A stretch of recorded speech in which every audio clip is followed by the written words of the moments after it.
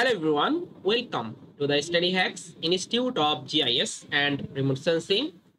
Today I will try to discuss a very important topic, mainly how we can easily monitor the land use land cover classification using Sentinel-1 SAR data. I will try to explain all of method and I hope after completing this full tutorial, you are able to do make land use land cover mapping using Sentinel-1 SAR data. So there's a lot of benefit to use the Sentinel-1 SAR data for making the land use land cover classification. So first of all, uh, all weather monitoring. Basically, Sentinel-1 SAR operate in the microwave spectrum, which allow it to capture data regardless of weather condition, such as more cloud cover, foggy, or any other time of day. We can easily access the satellite imagery, as well as it also provide the vegetation and urban area monitoring using SAR data can be easily distinguished between the different land cover types such as water, vegetation, build-up based on their backscatter characteristics. As well as it also complement optical data. We can also compare alongside with optical data to enhance the land use land cover classification accuracy and particularly in the area of with the frequent cloud cover eh, region. So basically this is one kind of region so here we don't find the cloud free imagery. So all time there the cloud formation happened. So for this type of region, when you want to use the Landsat imagery or Sentinel imagery, then you face a lot of problem. You find out a lot of cloudy pixel as well as you cannot get the more uh, correct classified, you cannot classify it for land use land cover. So you can see if you see the Google satellite map, you can also get a lot of cloud also here you can see. So that's why when you also try to work with uh, Landsat or Sentinel-2 satellite imagery, then you get a lot of cloud cover and it also hampered your result. So that's why it also better to use microwave spectrum, basically SAR data, and then we can easily create the land use land cover classification for this type of cloudly region. So basically, I will try to explain how we can easily create so first of all, this is my study area. So for this study area, I want to need the Sentinel-1 SAR data, which provide me the microwave spectrum, mainly VV, VS. This type of spectrum I can easily get from here. So here you can see here I already imported my satellite imagery. So this is the Sentinel-1 SAR data. So this data I already imported in here. So this data provide me the microwave spectrum which allow it to capture data regardless of weather condition. So now you can see there are not any kind of cloud, any kinds of fog, any kind of um, noisy pixel are not available. Okay, so that's why it's very uh, useful for the cloud cover area. So basically this is the data and this data mainly Sentinel-1 SAR data and this data is available from year of 2014 to 2024 10 13 october so, this data provider is the European Union ES Copernicus. So I want to use the data and create the land use land cover classification. So first of all, just simply import your uh, image collection. I simply import the image collection. And further, I simply filter my image collection in here. So I take the transmitter receiver polarization, VV, and also take the VS. So both of them I try to take in here. And here I use the orbit properties pass as a descending if you want you can also use the ascending. So i want to make this work for using the descending. And further i create the median composite. Okay? So now i create this type of median composite. So basically between this time period all of image i create the middle pixel value and create this type of median composite imagery. So from this imagery we can also use the different types of band combination. So if you click on here and here you can see if i just use at this uh, vv then put here the VS and also put here the VV and I just flew on the stretching 98%. So now it provides me one kind of uh, band combination VV, VS and VV. So then I can easily get this type of uh, band combination.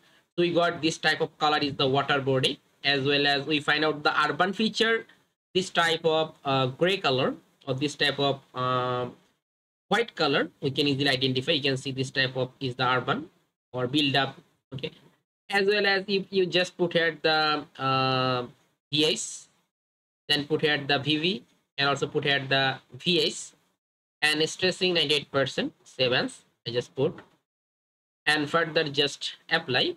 So now it also provide me the another band combination. So from here we can easily identify for water body this type of black color or dark color indicating the water body as well as we also get the urban feature. This type of uh, white color in, in uh, is the urban feature. As well as you can also get the vegetation.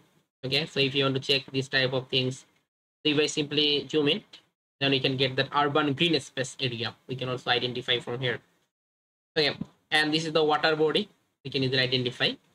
So you just use the different types of um, band combination and it also better if you can also overlay the sentinel one one sentinel two satellite imagery and then further you just use the different types of band combination and take the training sample. So in this case i take the training sample for the water body. So for this area as well as the build up i also take the water uh, for the build up and barren land and also take for the vegetation. Okay? So i take this type of training sample. And further i just apply the machine learning algorithm. And then i classify the land use land cover mapping so if you check for the classification result so just i try to open it here. So just i already make this map. So this is the yeah so we find out this type of map.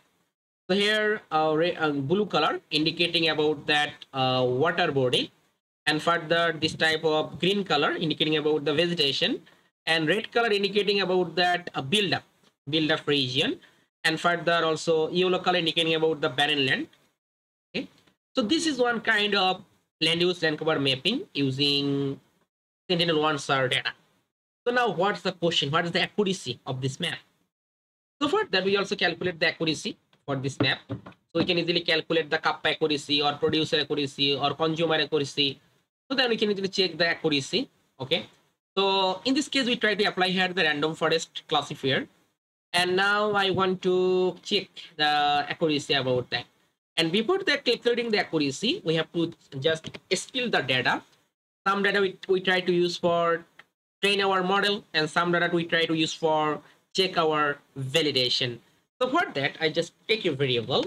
Suppose uh, I put the variable name is that data set and I call my training data. So this data is simply spilled into two way. Suppose I want to use randomly, so just put here the random random column. And further just take the data for train set. So just I call the data set. And further just filter this data. Randomly 80% and take another set. And I call my data set. And I want to filter it randomly. Rest of the 0.8 okay.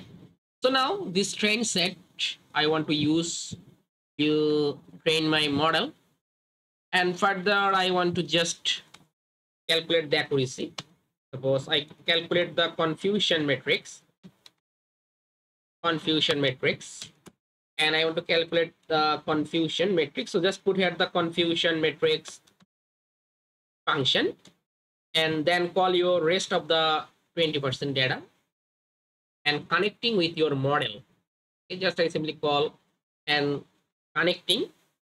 So for that use that the classify function for connecting your model which you created already. And then these things find out from here the error matrix. And in this error matrix, we try to find out the actual value. Actual value basically in this time class because when I take the training sample, I put it the class and predicted value just put here that um, classification all right so not any of that. So now further print this confusion matrix and click the run. So now it create a confusion matrix. From here we can easily find out that pixel value, correctly classified pixel value and wrong classified pixel value we find out in here. So basically 25, 61, 5, 24 is the correctly uh, pixel, classified pixel and 2, 5, 17, 3, 1 is the wrong classified pixel. So we try to calculate the accuracy. So just print uh, your confusion matrix and put here the accuracy. So now it computed what the accuracy can get from here. It computed, we can easily find out from here. So it find out the 80% accuracy. So this accuracy is not much good, but further, if you want, you can also add here the more different types of things, such as add the more external band, as well as also add here the different types of, you can check the training sample, then it also provide you the more better accuracy. Okay, so there's a lot of way, as well as also hyperparameter tuning.